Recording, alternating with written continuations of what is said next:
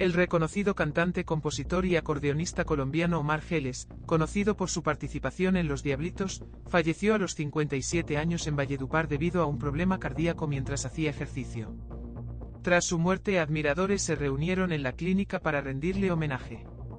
Geles, quien fue rey vallenato en 1989, fundó Los Diablitos en 1985 junto a Miguel Morales, alcanzando gran popularidad con éxitos como Los Caminos de la Vida. A partir de 2004 continuó su carrera con la gente de Omar Geles, según reporta F. Su última actuación fue en un concierto en Bogotá, donde recibió un emotivo homenaje de Silvestre Dangond y otros artistas.